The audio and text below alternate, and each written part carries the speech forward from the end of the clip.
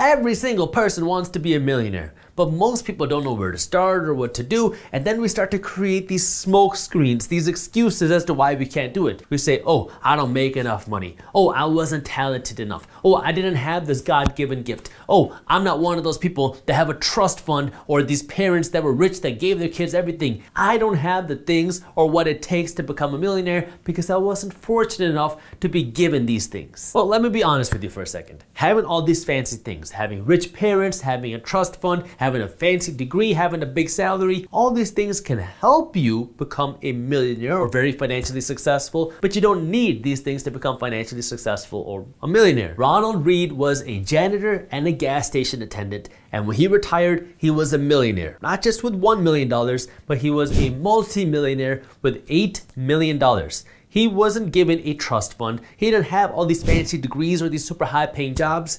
He just knew what to do with the money that he earned. The reason why he was able to accumulate this multi-million dollar fortune was because of two things, his smart spending habits and his investing habits. That's it. It had nothing to do with the amount of money he made, had nothing to do with what school or education he had, had nothing to do with who his parents were. It came down to his spending and his investing. CNBC wrote an article on Ronald Read talking about how he accumulated his wealth, and the thing that's really interesting about him and his story is he didn't even tell his family that he was wealthy. He was doing this all on the side. He made his money working as a janitor or working as a gas station attendant, and anytime he made some money, he was smart with his money. He spent it smartly and he invested it smartly, and then he just kept doing this. He kept investing his money his entire life, and then when he passed away, that's when his family, his kids, his grandkids, his relatives found out that Ronald Read was a multi-millionaire. His stepson actually gave an interview about Ronald Read's wealth and it was really interesting because what he said was quote, he was tremendously surprised to find out that Ronald Read was a multi-millionaire and he said that quote, he was a hard worker but I don't think anybody had an idea that he was a multimillionaire. That quality of building wealth quietly is so hard nowadays in our culture because we live in this social media culture. Before, it was keeping up with the Joneses because you saw your neighbors get a brand new car, so you wanted to get a brand new car. Your neighbors got a brand new boat, so you wanted to get a brand new boat. Now, it's the social media flex culture where you're following a whole bunch of random people and all these random people are broke, spending all their money on Louis Vuitton bags and Gucci belts that they can't afford and buying all these nice things and now you want to keep up. So now you're spending all your money going into debt just to keep up with all these random people on social media that you don't even know. That way you can get that double tap, that like on Instagram. But all these things are keeping you poor because what you're doing is you're making all these companies around you rich, but you're keeping yourself broke. Going back to this article, let's talk about Read's spending habits because what it says is Read maintained a frugal lifestyle where he never spent money unless he had to. What his friend said is that Ronald Read drove a second-hand Toyota Yaris and he used to use safety pins to hold his coat together and he was the type of person that was cutting down his own firewood when he was 90 years old. Now I want you to imagine this for a second.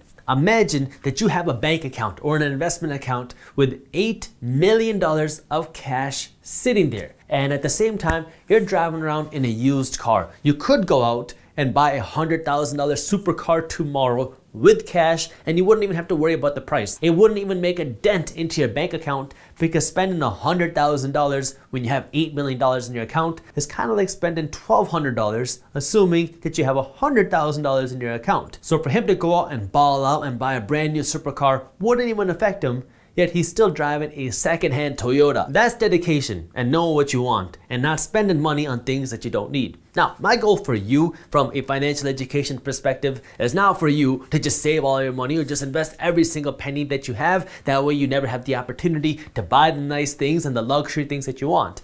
I want you to be able to buy and afford the things that you want. The key word there is afford because I want you to have all the nice stuff, but you have to be able to afford it first. For Ronald Read, these luxury things didn't matter to him. For him, he wanted just to keep building his wealth. That way he could create generational wealth and give back to the communities and the charities that he wanted to. But he knew what was important to him. And because he wasn't blowing his money in all this fancy stuff, he was able to build up this huge fortune. It kind of goes back to what sacrifice are you willing to make today? Because if you're willing to make that sacrifice today, if you're willing to sacrifice that car and the nice stuff today, that way you can put that money aside and put it to work today, well then this money that you're putting aside will be able to fund all the nice stuff that you want in the future. Ronald Read Read's neighbor went out to say that if he earned $50, that he would probably invest 40 of it. So he was investing the bulk of what he was making because that was what was important to him. He didn't want to blow all of his money on fancy stuff. He was investing it. And that clearly worked to build his wealth. So now the question is, how in the world do you actually take a janitor salary or a gas station worker salary and turn that into millions and millions of dollars, especially when we're talking about somebody who did this over the last century because he died at 92 years old in the mid 2000 teens. It was 2014 when he passed away. So that means he was earning this money in the 1950s to the 2000s, early 2000s, and he took that money and turned that into a multi-million dollar fortune. How do you do that? Well, according to the article, he is a good stock picker and he had the control to hold onto his stocks for the long haul. So his financial strategy was pretty simple. He would earn money, and this is money he earned as a janitor and a gas station worker. Then when he earned this money, most of it would be invested. And this would be invested into things that he knew and he understood. And so these were stocks that he believed in and he held onto these stocks for the long term. And we're talking about years, if not decades. And then if anything was left over, this is what he spent. And he spent on things he needed. So he spent little here, that way he could have more money to invest here because this is what made him wealthy. At this point, I already know what you're thinking. But Jaspreet, what's the point of me dying a millionaire and not being able to enjoy all this money that I would earn? Well, this is where you have to find the right balance for you. For him, Ronald Read, he didn't really care about these things. So he just continued investing here because all he wanted was that generational wealth to take care of his family and he wanted to take care of the charities and the communities that mattered to him. So he kept investing here. For you, if you want to have the nice cars, the nice clothes, the nice vacations and all that, there's nothing wrong with that. But first, you gotta stop spending all your money on things that you don't need right now. That way you have more money to put here. And once you start building this wealth, then hey, start spending money on the things that you want because now you can afford it because now you have the cash to do that. This super complex formula that Ronald Read followed allowed him that when he died, he gave $1.2 million to his local library, he gave $4.8 million to his local hospital, and he gave a couple million dollars back to his family. So now, if we're analyzing different parts of the strategy, the funnel, he did not earn a lot of money. So if you wanted to improve this funnel, what can he do? Well, one thing you can do is you can earn more money. He was a janitor and he was a gas station attendant. If you want to earn more money, start a side hustle, or you can go get a better job, you can get a promotion, whatever you got to do. Earn some more money, now you have more money coming into the formula. We already talked about the investments. He invested the bulk of his income, and we talked about where he invested it. You don't have to invest your money in stocks, you can invest your money in real estate and other places, but that's what he did. Then you can also talk about where he spent his money, right? We talked about how you don't want to just be blowing all your money on things right now because now you want to put this money towards your investments. So there's three different parts to this formula. One is earning money. Second is what you do with the money you earn and how much are you investing, how much are you spending. Financial education really doesn't have to be rocket science. The one key thing that really allowed this process to work though is in this part right here because not only did he just put his money into the stock market, the thing that allowed him to actually make money and build this wealth in the stock market was he kept his money in the market for years and decades because that real wealth happens over time. Because when you're investing your money in the stock market, or really any asset class for that matter, but we'll focus on the stock market here.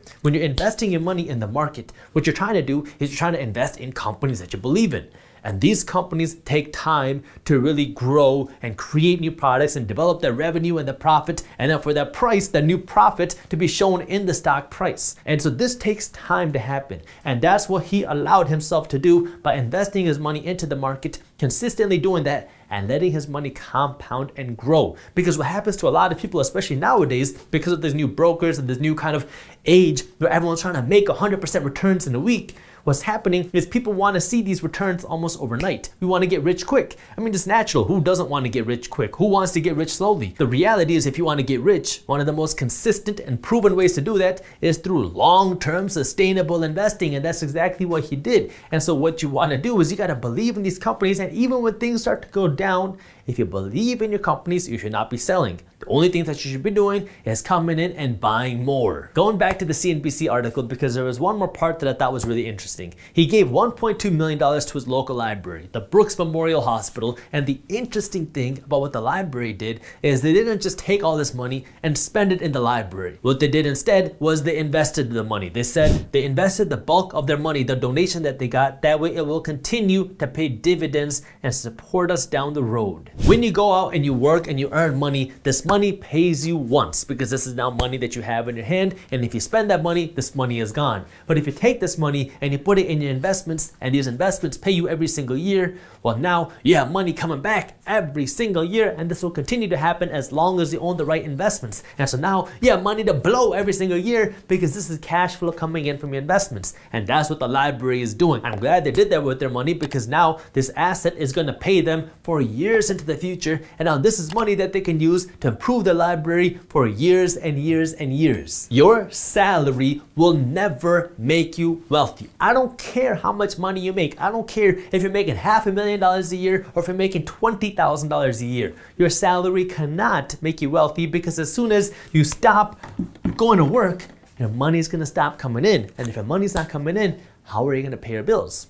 How are you going to afford your vacations? How are you going to afford your cars? How are you going to afford to eat and live your life? Because if you're not working, now you're not getting paid. And sure, maybe you got some savings, but your savings work the same way. Even if you have a million dollars in your savings account sitting there, well, every time you spend a dollar, your savings are going to shrink and shrink and shrink. And eventually, if you live long enough, and you hope that you live long enough, your savings are just gonna dry up and they're gonna go away. So you can't outsave your way into wealth what you need to do if you want to become wealthy is you have to have these investments because these investments will continue to pay you even when you're not physically working. This money that you're earning from your job, your earned income, has to be invested. You need to be investing as much as possible because this is what is going to make you wealthy. You cannot become wealthy by earning more money. You cannot become wealthy by spending all your money. The only way you can become wealthy, and when I talk about wealthy, is being able to buy back your time, is if you have investments because these investments will pay you even when you're not physically working. If you enjoyed this short clip from my longer videos, here's another clip that I think you'll love. And while you're at it, if you're interested in learning more about how to start generating passive income,